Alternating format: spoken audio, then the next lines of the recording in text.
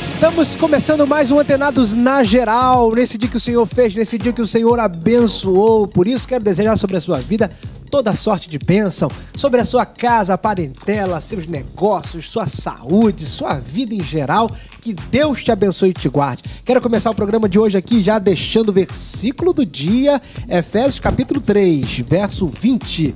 Diz assim: Ora, aquele que é poderoso para fazer infinitamente mais do que tudo quanto pedimos ou pensamos, conforme o seu poder que opera em nós. A ele seja glória na igreja em Cristo Jesus por todas as gerações, para todo sempre. Amém. Já no início do programa de hoje, quero deixar aqui essa verdade da palavra de Deus. A Bíblia Sagrada é o livro revelado que revela, inspirado que inspira. Esse é o livro que transforma a nossa vida. Então fica essa palavra, palavra e creia nela em nome de Jesus.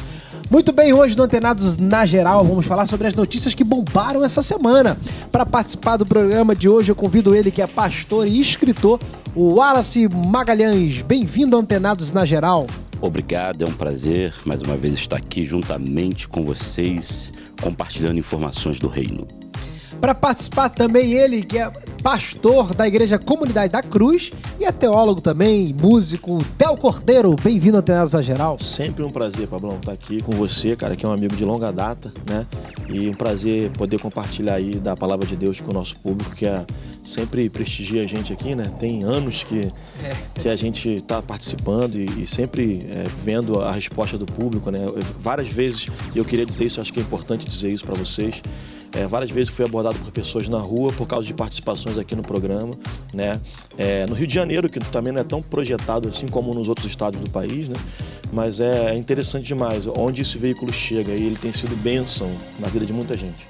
Isso é importante o Del tá falando, que eu vejo pessoas que dizem para mim no inbox, pessoal, ah, pastor, eu saio correndo do trabalho, vou direto para casa, que eu não perco antenados na geral. É uma escola bíblica para mim, é um crescimento que eu tenho para minha vida espiritual. Então, um beijo grande para você aí que tá sempre conosco.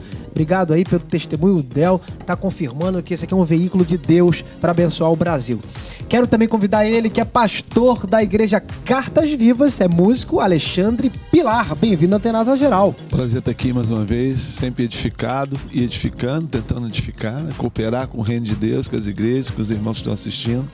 E dessa vez não vai ser diferente. Feliz de estar com o Del, o pastor Alex estou conhecendo aqui, o Pablo a gente já tem feito alguns programas, vai ser uma benção.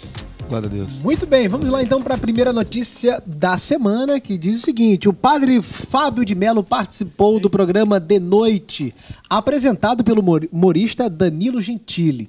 E exibido pelo SBT, o padre falou sobre vários temas, como a questão do celibato. Seria interessante ordenar homens casados e o celibato como uma opção de entrega mais radical.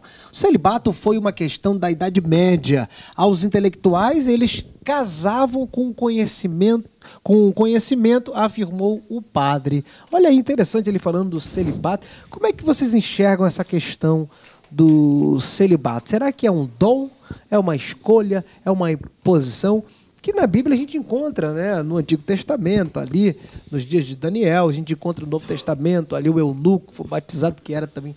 É, era eunuco, que é o significado exatamente da, dessa função. Né? O cara celibato. É, o, a escolha é um ministério? Será que é um ministério?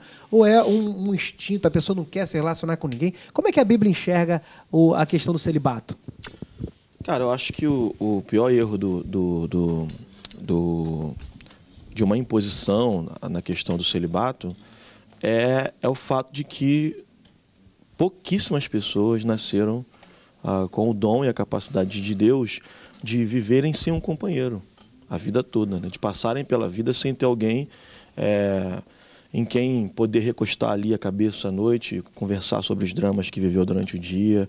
Né? Eu acho que não existe nada que expressa mais a, o relacionamento da trindade de Deus do que o casamento, né? Você conhecer profundamente, intimamente o seu cônjuge, né? Eu tenho 16 anos com a minha esposa, 12, eu vou fazer 13 de casado. É...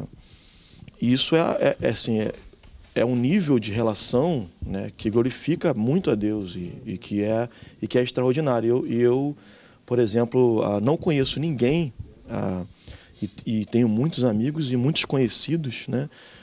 não é de rede social, não, estou falando de vida mesmo, é, que tenha a, me testemunhado um verdadeiro dom de, de viver sem a, um companheiro. Né? Então, acho que forçar isso né, denominacionalmente ou, ou numa, numa, num edito é, da, da sua igreja local, seja o que for, é muito complicado, cara. Vai fazer o cara pecar. Né? Vai fazer acontece também esse, essa, essa é, e é legal forçar, né? Você tem que é, casar, você é. tem que se relacionar, e às vezes o cara não tem desejo. E é legal o cara falar isso abertamente, né? Uhum. O padre chegar e falar, poxa, eu acho que isso era uma questão da Idade Média, as pessoas é, é, casavam com a, a, a, o conhecimento, né? Mas hoje eu acho que o cara poderia ser voluntário ao celibato, não devia ser forçado. Acho isso uma, uma posição, dentro daquilo que, da questão da Igreja Católica, eu acho essa uma posição do padre ali equilibrada. Né? O apóstolo Paulo diz, né?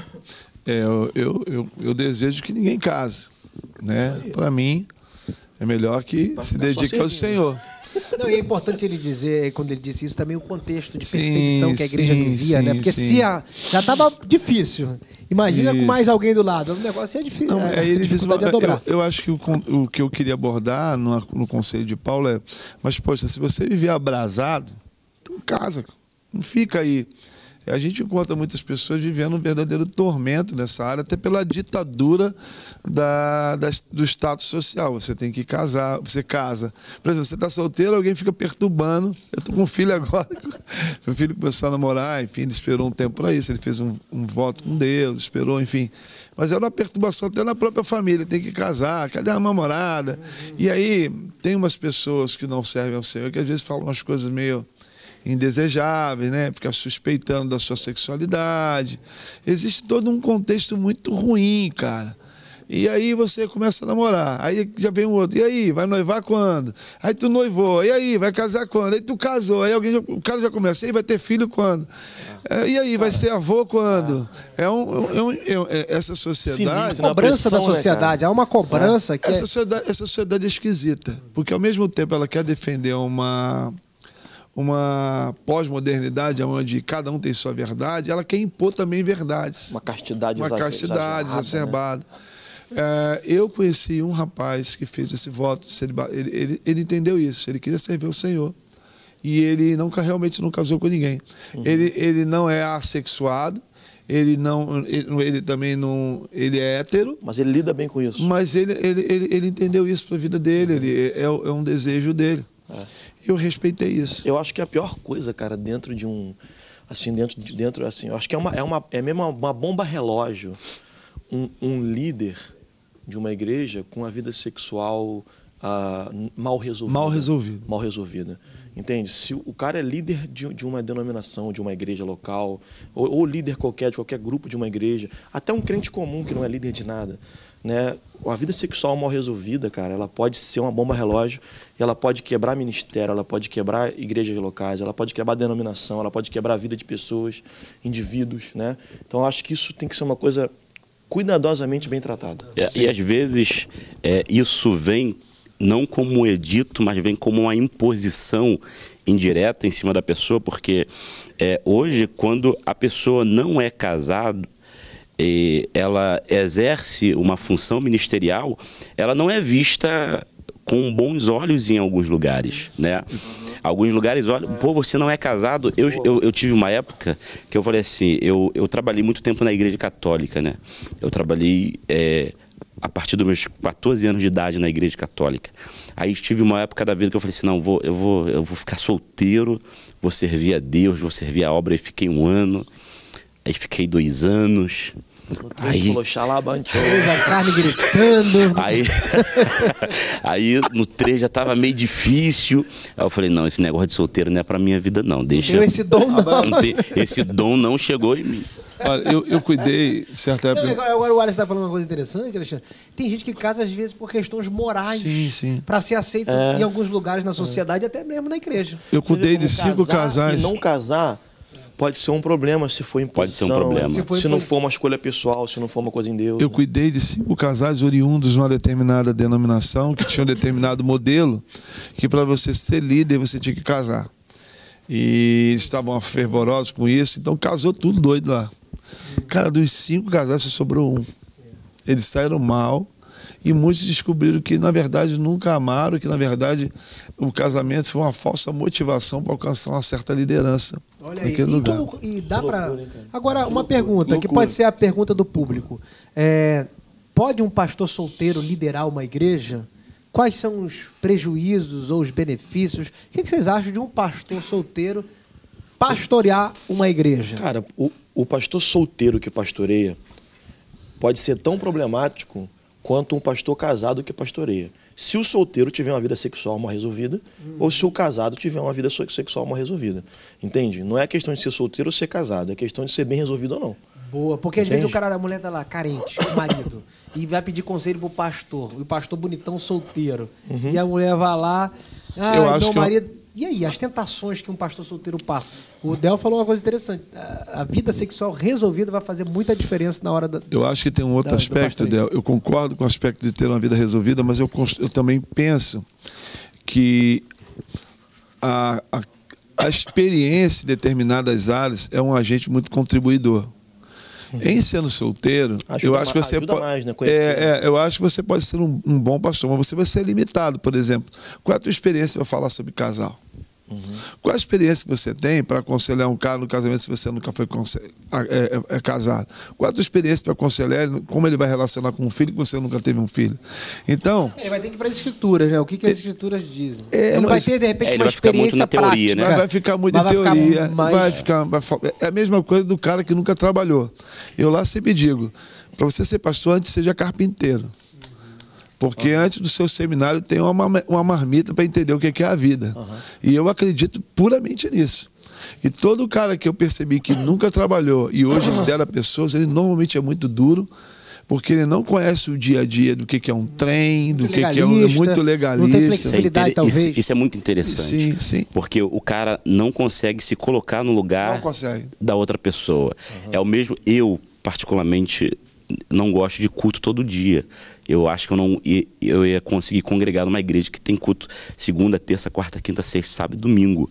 Porque a pessoa tem que estudar. O membro da igreja tem que estudar, ele trabalha, e- pra família. ele tem a família dele. Eu acho, Pablo, que toda imposição é, posta sem um consentimento da outra pessoa gera problemas. Seja para a pessoa casar, seja para a pessoa se batizar, e isso tem causado muitos prejuízos. Eu vi um- uma cena como essa de um grupo de pessoas que se batizaram, ela- elas foram quase que obrigadas a, a tomarem essa decisão, e o pastor batizou e não ficou ninguém na igreja.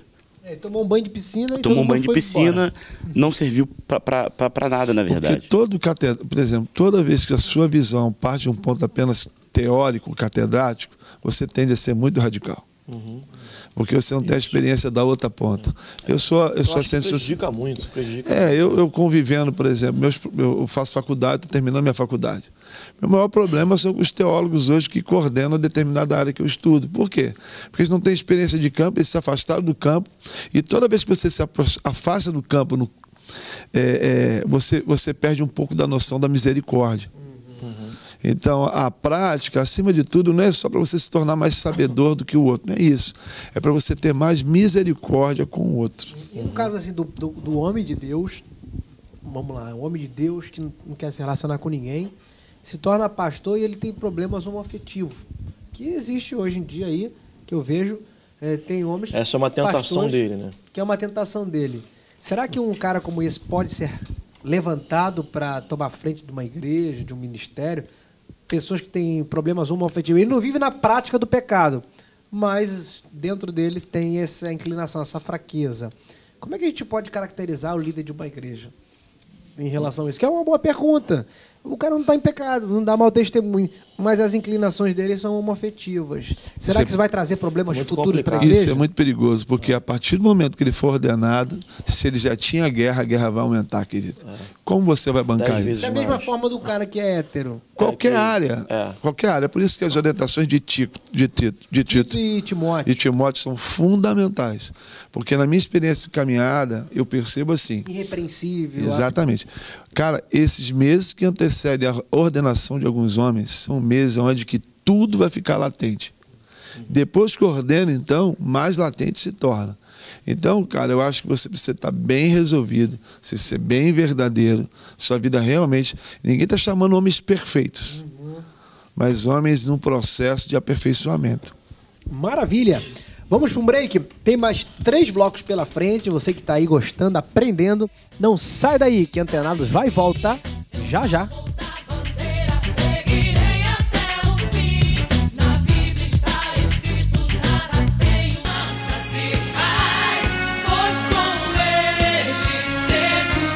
Estamos de volta aqui no segundo bloco do Ordenados na Geral, falando sobre as notícias que bombaram essa semana. Muito bem, falamos aqui sobre o celibato no primeiro, no primeiro bloco. Agora vamos aqui para a segunda notícia.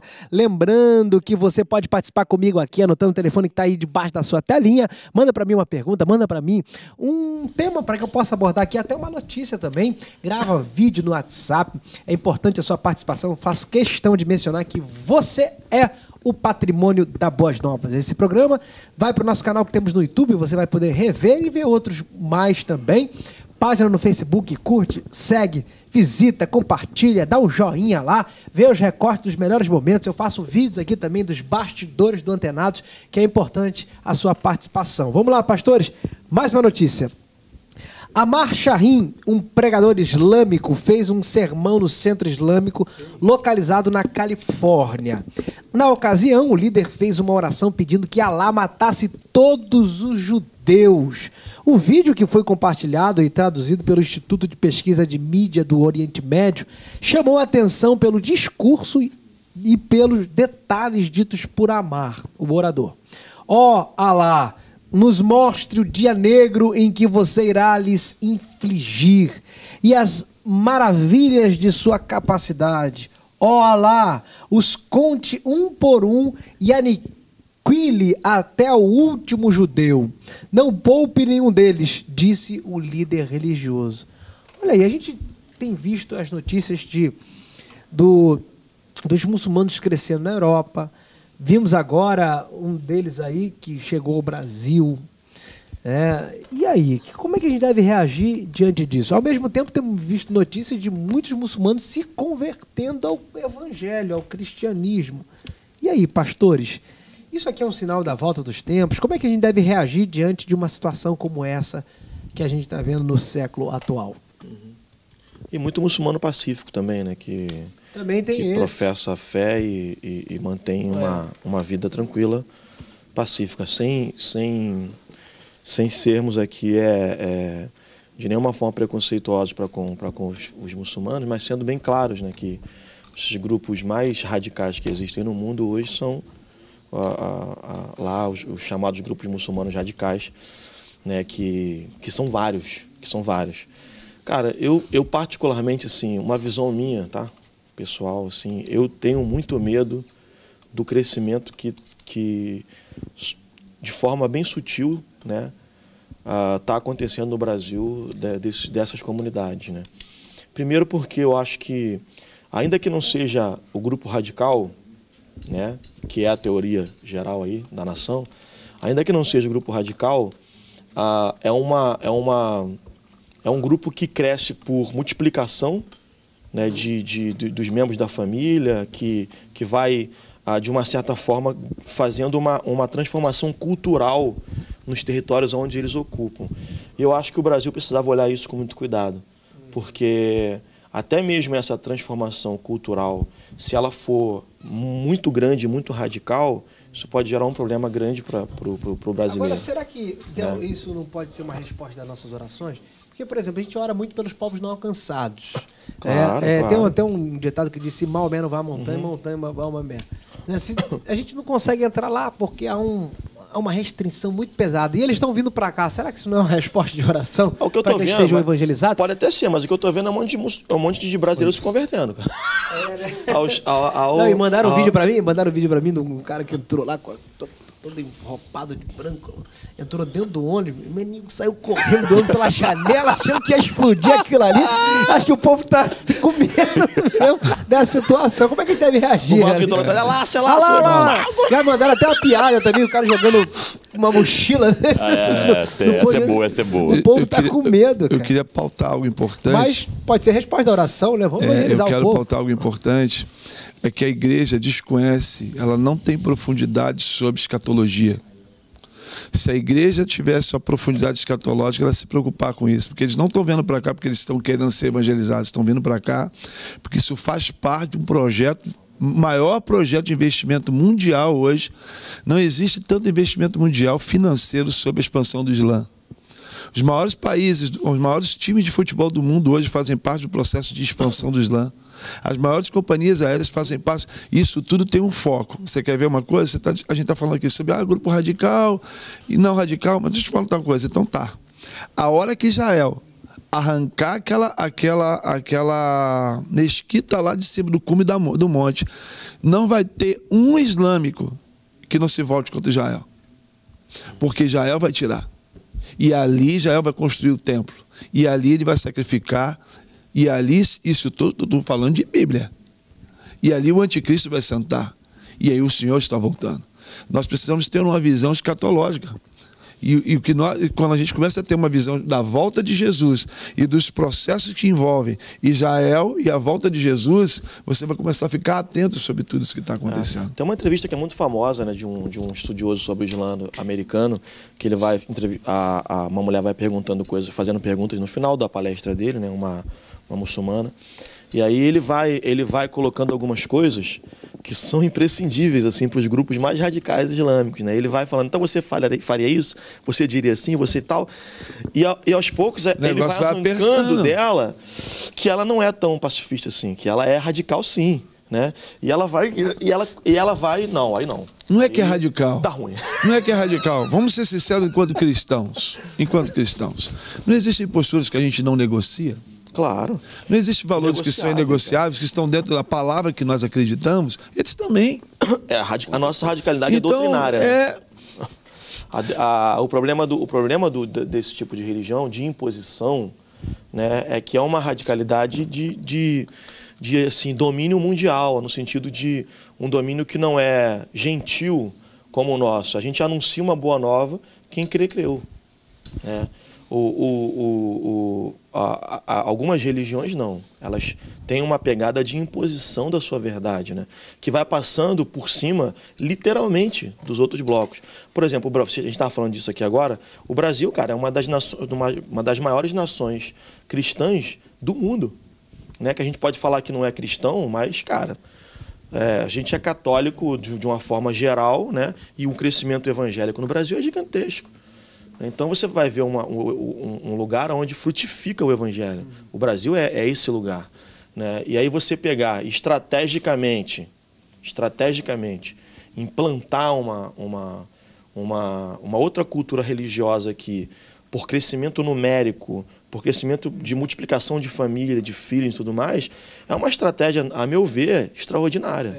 Né? Que pode a- Ah, aquela primeira-ministra alemã, primeira-ministra alemã, esqueci o nome dela, é Merkel. Aham, Angela, Angela Merkel, há algum tempo ela atrás falou que a Europa, dentro de 25 anos, agora tem mais 5 anos essa entrevista, se tornaria uma nação islâmica. Exato. Porque para cada meio filho que nasce de um europeu, Não, nascem nações, né? nações. Nações. Nascem cinco, um continente, Um um continente, continente islâmico. um continente, é. Nascem cinco crianças islâmicas. E o islamismo tem tomado governos, ordens políticas, econômicas e sociais. E não pense que no Brasil eles querem ser diferente. E às vezes eu vejo que na ignorância muita gente está rindo. Eu não estou dizendo aquele ser hostil, Uhum. mas a gente não pode lidar com isso de uma maneira é, inocente, sem saber quais são os reais propósitos deles. Eu, eu não sei se é verdade, mas, por exemplo, de- de- é, eu vi um vídeo na internet, o cara falando, denunciando isso, eu, eu não sei o fundo da verdade, que a internet tem muita mentira, né? Pelo amor de Deus. Então faço a ressalva aqui.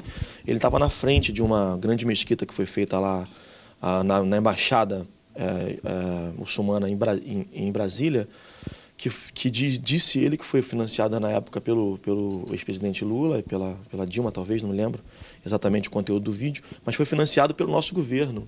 Né? A construção daquele, daquele território islâmico dentro do Brasil. Né? Então, se isso é verdade, assim, são coisas que são muito perigosas. Né? São coisas que são muito perigosas. Wallace, É, eu acho que esse, esse pessoal tem uma estratégia diferente da nossa, né? É, eu acho que a igreja, como um todo, ela não se une pela causa. E se a gente fosse copiar a estratégia desse povo, a gente avançaria muito mais. E não de uma forma individualista, mas de uma forma coletiva, né? Porque hoje o avanço do evangelho está sendo grande, como o pastor falou, só que é, uma, é, é de uma forma muito individual. É, é, né? Eu acredito nisso, o outro não acredita, a igreja do outro não é legal, essa aqui é certa, essa é a última porta, aquele ali é, não é de Deus. Só que eles não, eles, es- eles estão crescendo e coletivamente unidos em um propósito. Eu acho que se a gente é, Não existe linhas, de, Existem é, linhas. ramificações da- também no meio deles, de visões teológicas do, do islamismo. É muito O- pouco dividido, cara. E, Eles são muito bem. é, e ao fim de tudo é bem muito unido. agrupado, né? Porque doutrinariamente existe castigo para aqueles que fogem. E isso é temível, cara.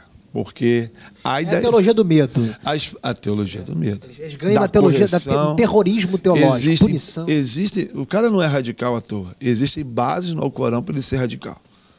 Existem bases no Alcorão para matar. Existem bases no Alcorão para fazer essa oração. Então a gente tem que tomar cuidado. e o cristianismo tomaria o mesmo rumo se não fosse a reinterpretação da lei que Jesus fez Sim. e foi dando ao, ao judeu naquela época. E Né? a classe Porque, por exemplo, deles, quando, eles- eles- quando a gente pega, rapidinho, quando a gente pega uma, uma, uma, uma passagem que o cara vem, arranca a mulher e leva e fala, vamos tacar pedra, e aí o que a gente faz? Se a lei manda apedrejar e tal. Se a coisa encaminha por isso, a gente era tão radical quanto, quanto o muçulmano. Mas Jesus diz o quê? Não, que atire a primeira pedra. Jesus, ele, ele é violento na verdade, cara. A verdade, ela arrebenta com o ser humano para reconstruir, para transformar, para refazer a gente. né? E Jesus, ele, ele joga essa verdade simples, de que todos estão igualmente condenados ali, são condenáveis tanto quanto aquela mulher. Né? E aí ele prega uma verdade que liberta aquela mulher da morte e aqueles que a oprimiam né? da, da, da, da inverdade né? que eles estavam vivendo, da, da mentira, da falsidade que eles estavam vivendo. Então, O julgamento foi perfeito. julga- né? é. Então, perfeito. cara, assim, o cristianismo ele, ele vai trazer uma, uma releitura desse, desse, radical, desse radicalismo e fazer uma, uma, uma, inserta, uma inserção de amor, né, de graça, de bondade, de misericórdia, de tratamento gentil. Né? E isso, isso quebra, quebra esse paradigma Como é que a igreja deve reagir de em radical. relação a isso? É, será que a gente deve investir mais em palestras de evangelização é, transcultural, falar mais sobre esse assunto dentro da nossa igreja, nossa comunidade, usar o púlpito para isso? Como é que a igreja deve reagir em relação a esse fenômeno do crescimento islâmico no nosso país? Eu acho que o que falta na igreja hoje é ensinamento. Eu ia falar é, é, o, o discurso simples de Oséias, capítulo 4, crescer no conhecimento. É, Eu acho que falta ensinamento, né? É, a igreja hoje está investindo em shows, né? E a pessoa vai lá, ele, a igreja contrata o camarada, enfim, e a pessoa vai, faz um show, prega uma mensagem lá, que todo mundo se alegra, mas que ninguém aprende nada. Se você perguntar no final do culto, o que, que você aprendeu? Perguntar para o jovem, aonde foi que o pastor leu? Aonde foi lido hoje? Ele não vai saber responder. Ele vai falar, não, eu gritei, eu chorei, foi legal, foi, foi, foi mistério, foi É mais manto. fácil fazer chorar do que pensar, né? É muito mais E fácil. eu acho que a igreja deveria investir em conhecimento, né? Deveria investir nos jovens, nos irmãos, em sala de aula, colocar em sala de aula, é discipulado, é discipulado. Eu acho que se a, igreja mesmo, né, se a igreja investisse nisso, a gente teria um resultado assombroso. Você percebe isso que as igrejas é, não tão pentecostais, né? é, elas têm um número de desviado muito menor. A igreja que ensina mais a palavra, a igreja que discipula mais, o número de pessoas que é, Sai. saem é muito, é, muito, é muito pequeno. Agora, as igrejas mais É porque se o cara sair, não, não, não sai pro extremo. Agora, quando é muito religioso, quando sai, o cara vira né, macumbeiro, é, É porque- é, é alcoólatra, é- tem, tem esse extremo, né? É porque cara? quando a pessoa conhece realmente a Bíblia, a palavra de Deus, É liberta, né? é liberto, ela é discipulada literalmente para chegar ao céu e não para chegar num congresso, porque hoje né, tá tudo voltado para a pessoa ser, né?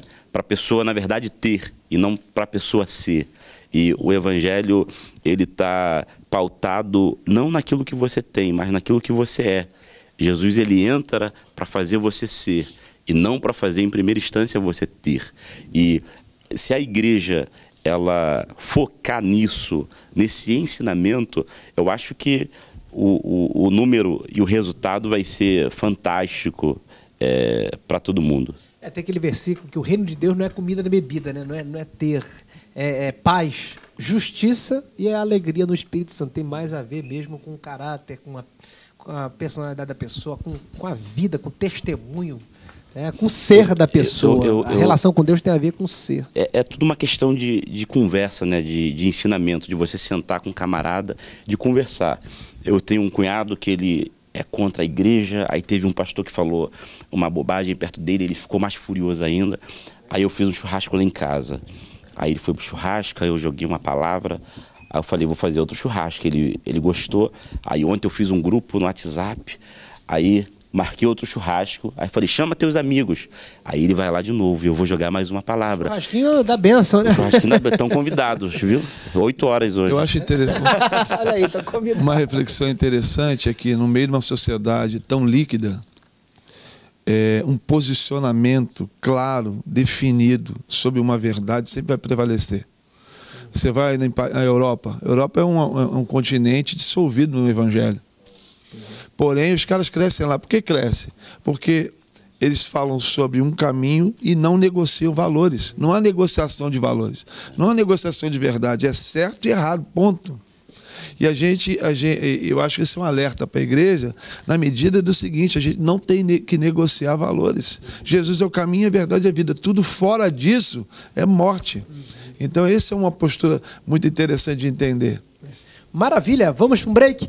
Tem um intervalinho aí bem rapidinho, você não pode perder, não sai daí. Antenados volta já já.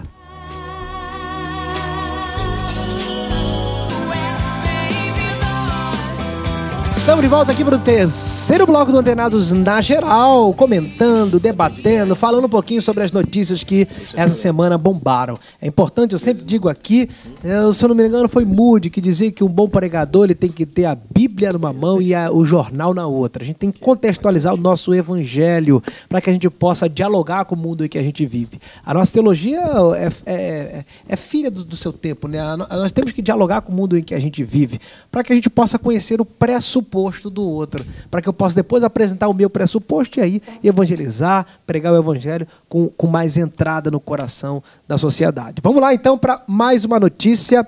Vamos ler aqui a terceira notícia da semana. Vamos lá. Um dos países mais ateus do mundo está, está vendo uma mudança de cenário na sociedade. É que igrejas da Finlândia estão relatando um verdadeiro dilúvio. Dilúvio de conversões do Islã para o cristianismo. São centenas de muçulmanos vindo do Oriente e do Oriente Médio que estão abraçando Jesus e glória a Deus por isso, né? De acordo com, com membros da comunidade evangélica local que afirmaram que está tendo essa conversão. Agora, o- graças a Deus, eu creio que isso aí é uma grande resposta da oração da igreja. Aliás, o, né, o Islã, uma religião tão radical, é, se está ocorrendo uma conversão, provavelmente esses caras vão ser aí os grandes evangelistas aí do meio, porque né, se, se a gente fosse radicais como eles são na religião deles, rapaz, eu acho que esse mundo ia virar de cabeça para cima, porque de cabeça para baixo já está, né? Mas ele ia virar de cabeça para cima, porque o que a gente precisa mesmo é de gente assim, né? Que entrega a vida. Os mártires eram assim. né? hoje, se a gente olhar para um, um, um cara radical, aconteceu isso comigo. No início da minha conversão, eu ia para culto todos os dias, saía do culto, ia para monte, ia para os hospitais de manhã, evangelismo à tarde, lendo a Bíblia o dia inteiro também. E aí as pessoas, ih, muito fanático, muito radical, ih, isso aí não vai dar certo não. Aí hoje eu olho para a vida deles e para a minha vida, hoje eu estou aqui na TV pregando para o Brasil todo, né? o radical lá atrás, sou pastor de uma igreja, uma igreja saudável, prego em vários lugares, tenho uma família maravilhosa, uma esposa que Deus me deu. E aí, se- será que o radicalismo, né? Não tem seu, seu, seu lado bom que leva as pessoas ao- a- aos lugares mais altos? Às vezes a gente critica muito os legalistas os radicais, mas aí os mártires eram assim, né? Os mártires se entregavam, davam a vida pelo evangelho e marcaram suas gerações. Eu estava falando para o Del no, no off aqui que uma das coisas que eu observo na no- no- no praticante do islamismo é que eles têm uma eles têm uma convicção de eternidade muito latente. Eles, eles, como a gente falou, eles explodem porque eles acreditam numa eternidade. Eu acredito que o cristianismo no Brasil ainda é um cristianismo muito terreno. É por isso que fala tanto de bênção, de ter, de receber, como o pastor fala aqui. Por quê? Porque não há uma concepção sobre a eternidade. Eternidade no, sentido, no seguinte sentido: o que eu faço aqui, eu estou construindo para o futuro. E o meu futuro não é só esse aqui. A vida que eu tenho ela é uma resposta para a eternidade. Eu acho que eles têm essa concepção muito clara. Eles entendem que o que eles estão, que nós, que eles estão numa terra de passagem, que são peregrinos, que eles estão construindo alguma coisa acima de tudo por um propósito eterno. Isso fala de chamado, isso fala de plano de Deus para a nossa vida.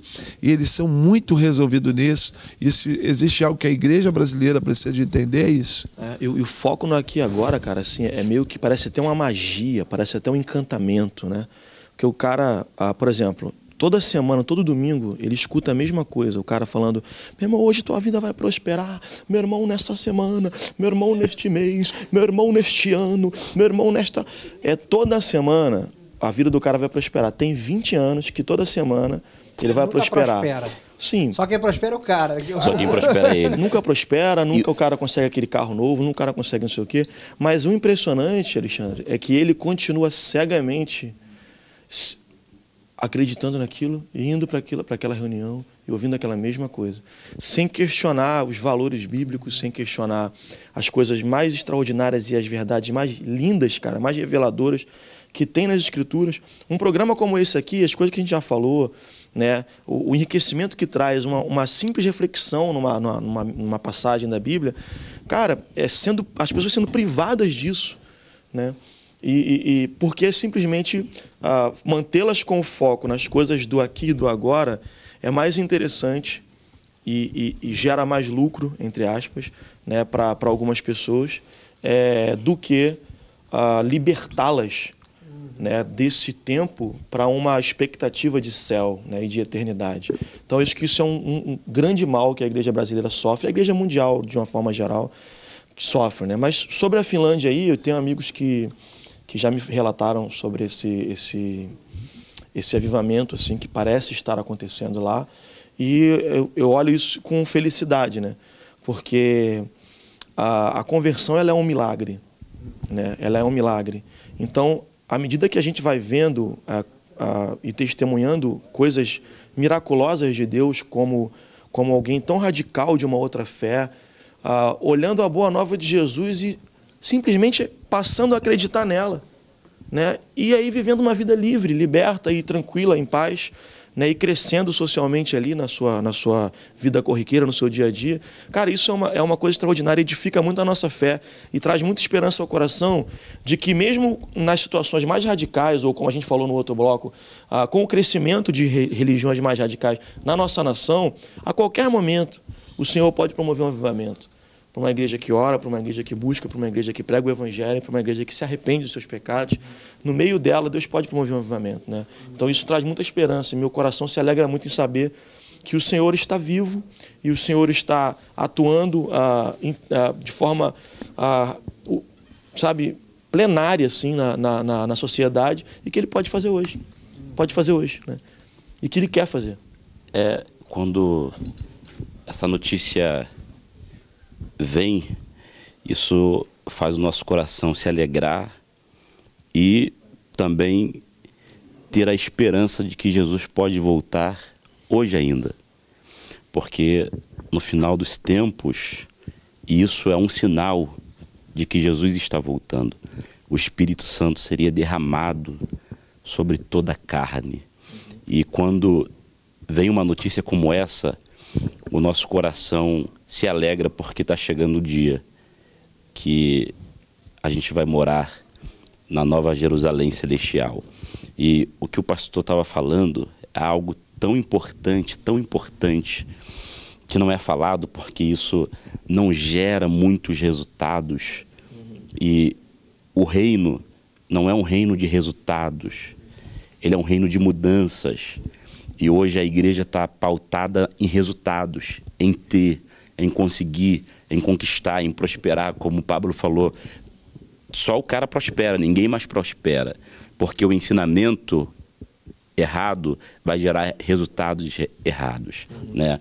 E o pior disso tudo é que não ensinam a pessoa a trabalhar para conquistar, ensinam a pessoa a fazer alguns rituais que Deus vai Principalmente comprar com dízimo, né? Comprar Deus com dízimo. comprar Deus com- que Deus vai mandar do céu. Deus como um ídolo, né? Não como o, o, o pai, o criador. Ensina, ensina a barganhar, né? É. Ensina a barganhar com Deus. Não, se você fizer, ele vai fazer. Quando na verdade o resultado, eu sempre digo isso, o resultado não é o mais importante, porque a pessoa vai chegar assim, Deus, eu fui o cara lá embaixo, eu arrebentei, fui em todos os antenados, eu era o cara mais, eu eu arrebentava palestra, congresso, agenda cheia, seguidores. Aí ele vai dizer assim, eu não te conheço não, rapaz. Você fez tudo isso, mas tu esqueceu que o mais importante não era ter resultado, o mais importante era ter uma vida saudável comigo. O mais importante era viver a palavra. Tem um aspecto importante, Finlândia, Islândia, toda essa região, não sei te dizer, da Europa, realmente, não é, não é leste europeu, não, é, é o que? Ali é, enfim, aquela parte mais viking, né, da coisa, né, cara? É muito curioso você ver isso acontecendo, por quê? Porque ali, é, culturalmente, Deus estava morto. Eu tenho amigos que moraram lá, e você fala que você era cristão, o cara fala, "Crist- ele ganhava um SUS cristão, por quê? Você tem algum problema? Algum- Te falta alguma coisa? Como você procura isso? Então, uma notícia como essa, duas coisas me apontam. Primeiro, Deus continua soberano. Amém. E o Espírito Santo continua trabalhando, independente de qualquer coisa. Há uma, isso me traz esperança. Vamos pedir o dízimo agora que o Vaso É, pregou. agora depois dessa aí. É, é- é importante. a gente- Vamos, vamos um break, tem mais uma notícia aqui, mas. Perdão, esse papo aqui está muito edificante, que é importante de comentar sobre isso, que não é o futuro, é o presente, é o que está acontecendo agora. A igreja precisa se equipar, pegar as ferramentas certas para lidar com essa situação, porque tudo isso é cumprimento de profecia né, Sim, bíblica. sim, verdade. Vamos para um break finalizar aqui com chave de ouro no quarto e último bloco. Não sai daí que Antenados volta já já.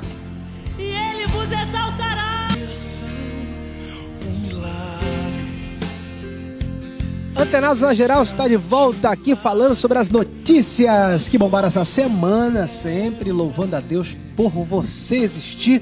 Eu sempre quando chego aqui, oro, acordo de manhã, oro por você, peço para que Deus venha abençoar muito a sua vida, todos os telespectadores, todos os ouvintes, que Deus possa ouvir a nossa oração nesse dia e trazer paz, descanso, alívio e refrigério na sua vida e fé para perseverar enfrentando esse mundo mal. No mundo tereis aflições, mas tenha de bom ânimo. Jesus venceu o mundo. Nele conseguimos vencer o mundo, renunciar à carne, triunfar sobre o pecado através da santidade, do temor a Deus, que é o princípio da sabedoria. Fica com essa palavra aí. Vamos lá, pastores, para mais uma notícia. O pastor Rusty Thomas evangeliza em frente à clínica de aborto nos Estados Unidos. O pastor que lidera uma organização pró-vida falou que tem buscado combater o aborto com o poder do evangelho. Nós realizamos um culto justamente em frente aos portões do inferno, diz o pastor. Nós não fazemos nada diferente do que fazemos na igreja. A única diferença é que estamos saindo dos templos, estamos tentando ser sal da terra e luz do mundo, explicou o líder evangélico. Muito bacana aí. Parabéns ao pastor. Penso que é assim que a gente vai influenciar o mundo, né? Eu estava lendo um livro do Bonhoeffer, ele falando que a igreja está muito espiritualizada. Olha o óculos de novo, caiu duas vezes aqui. Né?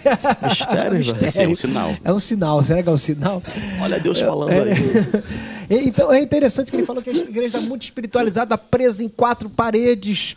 Será que a igreja está muito presa em quatro paredes? Pastor Del, a gente precisa mesmo dar- pegar e sair das quatro paredes, diminuir o número de, de reuniões, ir para a rua, pregar o evangelho. O que, que você tem a dizer diante de uma notícia como essa? Mano, eu acho que a, a igreja, a igreja ela, ela é um bloco muito importante da sociedade. Ela tem um chamado evangelístico de Deus, uma, uma responsabilidade evangelística, né? E ela precisa adotar as estratégias que ela puder, né? Como a gente falou, uma outra ocasião aqui a gente falou sobre Paulo ter sido feito fraco para com os fracos, forte para com os fortes, é bárbaro para com os bárbaros, ter sido ah, ter de alguma forma se manifestado é, de formas diferentes para alcançar diferentes pessoas de diferentes ciclos sociais. Então eu acho importante a igreja se inserir em tudo, mano, em tudo. É, é, é interessante que tem igrejas que adotam uma estratégia mais de uma preparação ah, de comunidade tão, tão violenta, tão grande, tão bem organizada, que as pessoas se achegam. Né? Outras elas, elas conseguem se achegar aos diferentes lugares sociais com estratégias de pequenas células, elas vão chegando ali. Outras já têm uma, uma abordagem mais antiga no sentido de, de ar livre, que hoje se tornaram grandes congressos, grandes conferências, se tornaram ah, ah, ah, grandes shows até, publicamente falando. Eu acho que todas as formas de, de evangelizar são, são válidas, são boas, são pertinentes, precisam ser adotadas pela igreja. O que a igreja não pode perder é o foco no, no perdido. Né?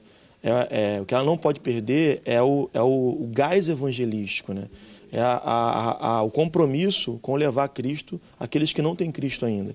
E isso pode ser feito, mano, de todas as formas que você puder. Você lá surfando é, e, e, e, congregando com aqueles caras que não vão congregar com mais ninguém a não ser com um cara que vá lá até eles e que fale a linguagem deles e que tenha forma daquilo que eles fazem e são. Né, e pratique as coisas que eles praticam dentro daquilo que é santo, daquilo que é correto, né, da forma que é santa. Cara, então isso tudo é fantástico, isso tudo atrai pessoas, chama pessoas. Né, e a igreja não pode ser ah, uma barreira evangelística, porque muitas se tornaram isso. Né, elas, elas se fecharam de tal forma e. Sem contextualizar. Sem contextualizar, sem nenhuma ah, preocupação de contextualizar que elas se tornaram uma barreira evangelística para certos nichos da sociedade. Por exemplo, tem aquele exemplo do, do homossexual que ia entrar na igreja e tra, travesti, na verdade, o cara estava travestido, e ele foi entrar numa igreja e o cara falou assim, não, aqui não. Né? Dessa forma que você está vestido, você não vai entrar aqui. Né? Sendo que o cara tinha ouvido o louvor da igreja lá de fora e tinha tocado ele, ele tinha entrado para poder é, ouvir aquilo de perto. Né? E aí o cara saiu e voltou. E ele estava no curso de se matar. Ele ia se jogar da Avenida. Agora não lembro se é a Avenida Brasil, daquele, daquele, daquela passarela, né? E aí uma igrejinha pequena mais à frente, graças a Deus, foi porta de Deus para ele. Estavam cantando também alto, e ele conseguiu entrar e tal. Depois ele tem um testemunho, que a gente não sabe nem se é mentira ou é verdade, mas ele tem esse testemunho aí, né, que rola. Ah, mas enfim, a igreja, a igreja tem que ser facilitadora, no mínimo facilitadora do cara chegar até Jesus, de Jesus chegar até ele, entende? No mínimo, né? E no máximo ela precisa ser, cara, a, a, aguerrida naquilo que diz respeito a alcançar aqueles que são É, perdidos. eu tento na minha agenda semanal, é, alguns dias dela, tentar lidar com o incrédulo, é, ter uma experiência fresca com isso. Separo um tempo da minha vida para me relacionar com, as- com aqueles que não creem. Porque eu vou ter uma experiência fresca ali de evangelização, ainda que não seja diretamente, mas a vida, o contato, o caráter, ele me vendo, me relacionar com, com, a, com a vida, aquilo pode ser uma forma de ser sal e luz na vida dele. Interessante esse, esse discurso de Mateus 16, porque quando Jesus fala sobre a porta do inferno, ele está falando do maior sacrifício de, de um lugar onde existia um sacrifício humano de crianças. Era um deus Moloque que era adorado naquele lugar. Então Jesus ali é onde ninguém entrava, onde havia um temor violento, onde crianças eram sacrificadas ali a Deus, a demônios. Ele fala sobre as portas do inferno. Então, Eu vou deixar- ah, pegou, pronto. é, porque o, é porque o óculos caiu aqui, aí quando cai alguma coisa, todo mundo fica parado para não mudar o ritmo. Né? Mas como o programa é espontâneo, né? A gente pode dizer. ah, Sem, Sem crise. crise, sem o óculos crise. do Del Pegou caiu, pronto, pegamos o óculos, Bota- eu botar aí. Bota o óculos, é, ficou até mais bonito. Ficou até mais bonito Ficou com o melhor, óculos. melhor. Fica de óculos. É nóis. Então Jesus chama a- aquele local de, de, de porta do inferno, um lugar onde havia sacrifício a Moloque. E essa matéria ela não, ela não fala sobre isso, mas certamente esse pastor está olhando para aquele lugar na mesma perspectiva que Cristo olhou. Porque a gente, às vezes a gente a gente está. é, existe hoje uma, uma discussão sobre o aborto, eu não estou aqui para discutir, teria um programa para falar sobre isso. Mas é, a perspectiva é de que inocentes estão morrendo pelo pecado de conscientes. ou com, pelo, é uma discussão. A gente pode entrar aqui daquele que é violentado, eu não estou querendo discutir isso. O que eu estou querendo discutir é, independente de qualquer coisa e de qualquer tipo de motivo para o aborto, tem uma criança inocente morrendo ali. Então, é por isso que esse povo, eu acho essa iniciativa da igreja, porque a iniciativa não é apenas um evangelismo, mas é um posicionamento. Olha, nós estamos aqui orando para que isso mude. Isso tem, isso tem que acontecer não apenas em função do aborto, mas nós devíamos acampar ao redor de Brasília. E tínhamos que levantar, porque aquele lugar ali, corrupto, ele também é um lugar de assassinato, que o problema de corrupção é genocídio. Então, eu acho que esse exemplo dele é um posicionamento da igreja certo, correto. Nós estamos aqui orando para que Deus mude isso. Nós estamos aqui para Deus mudar a política desse país. Eu acho que toda vez que a igreja se posiciona, é positivo. Maravilha, eu tenho 30 segundos. Deixa uma palavra aí em relação É, a eu isso, acho Wallace. que o ID, Pablo, ele tem que ser feito independente do local, né? Eu não concordo com alguns tipos de evangelismo. Por exemplo, o meu posicionamento com o evangelismo no shopping. Tem muitas igrejas que fazem, eu não concordo. Só que eu acho que o ID não pode se limitar à igreja. A gente tem que esquecer as paredes da igreja e invadir todos os locais é, com respeito, com carinho, Verdade. com amor, para que o nome do Senhor seja glorificado. Maravilha, pastores, quero agradecer muito a presença de vocês. O papo hoje, como sempre, alto nível. Obrigado você que me assiste, obrigado Brasil. Um beijo grande e até a próxima.